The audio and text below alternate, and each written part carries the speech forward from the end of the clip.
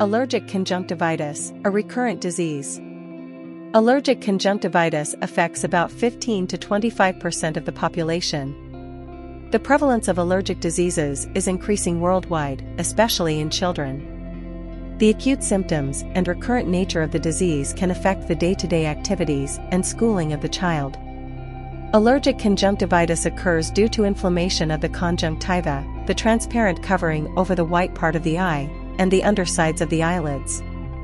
It occurs due to an exaggerated response of the immune system to benign environmental triggers. It can be triggered by allergens like pollen, animal hair, house dust mites, or other airborne allergens. It can be seasonal during the spring or summer months or perennial, persisting throughout the year. The common symptoms include itching, redness, watering, stringy discharge, and swelling of the eyelids. Allergic eye disease occurs commonly in male children. It begins in childhood, with seasonal recurrences until the child reaches puberty. Allergy can affect more than one organ system in the body. Eye allergies can be associated with allergic rhinitis, asthma, eczema, etc.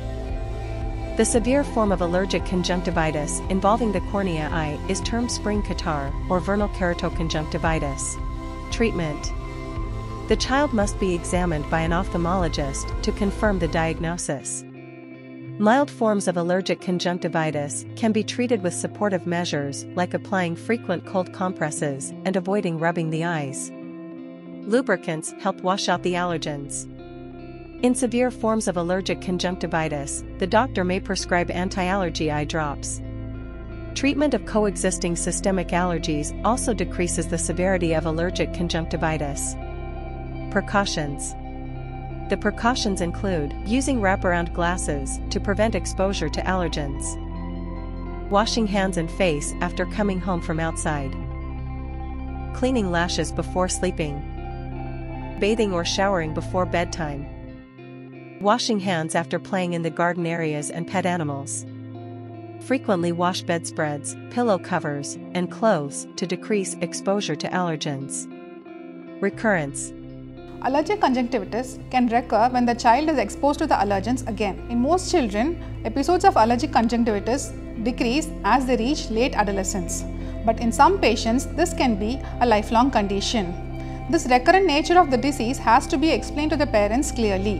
When this is not done, the parents are anxious when the child gets these symptoms again and feel the initial treatment to be incorrect, consult different doctors every time resulting in loss to follow up. Otherwise, the parents may use drops which were given in the previous episode. This can also be harmful as some of these medications have side effects when used irregularly. Complications are rare, but there are possibilities of chronic diseases causing corneal damage, leading to refractive errors such as astigmatism, keratoconus, and scarring from healed corneal ulcers. Self-medications and use of drops irregularly may also contribute to the development of cataracts or issues related to eye pressure. Allergic conjunctivitis is a common recurring condition in children. Educating parents about the condition and taking precautionary measures can significantly reduce recurrences and enhance the child's quality of life.